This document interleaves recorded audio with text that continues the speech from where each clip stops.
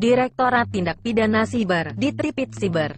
Bareskrim Polri menangkap sindikat pelaku penipuan online yang ternyata para pelaku masih di bawah umur.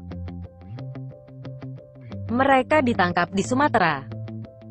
Setelah dilakukan lidik secara mendalam. Setelah kita cek akun, mulai lokasi. Ini siapa? Kemudian identitas yang bersangkutan. Kita dapatkan akun tersebut ada di wilayah Aceh dan Medan, kata Karopenmas Divisi Humas Polri Brigjen Awi Setiono di kantornya, Jalan Trunojoyo, Jakarta, Jumat, tanggal 18 September tahun 2020. Dia mengatakan keempat pelaku berinisial FGR, MR, dan DFY. Polisi berkoordinasi dengan Badan Pemasyarakatan, Bapas, karena para pelaku masih di bawah umur, rata-rata anak ini di bawah umur, antara 15 sampai 16 tahun. Kelas 7, 8, 9 SMP, ya.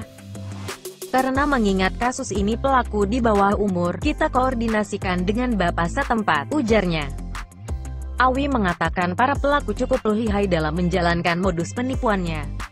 Para pelaku mengaku menjual barang bermerek dan barang terbatas, seperti sepatu dan sandal.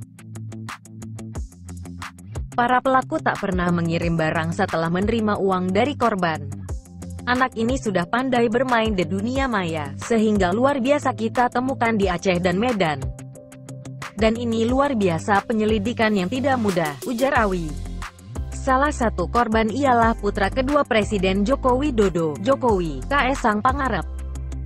Namun Awi tidak merinci kerugian yang dialami Kaesang. Kaesang, di antaranya, ada beberapa korban. Ada puluhan korban, tambahnya. Para pelaku terancam dijerat pasal 45 ayat 1 Junto pasal 28 ayat 1 dan atau pasal 41 ayat 1 Junto pasal 36 UU ITE. Polisi mengimbau para orang tua lebih ketat mengawasi anak-anak terkait penanganan kasus anak-anak selama ini yang ditangani di Siberbareskrim ada dua kemungkinan. Pertama sesuai Perlindungan Anak dilakukan pembinaan dan dikembalikan ke ortunya, tentunya dalam pengawasan Polri. Kedua restoratif justice. Ini sangat fenomenal, karena kita di zaman digital.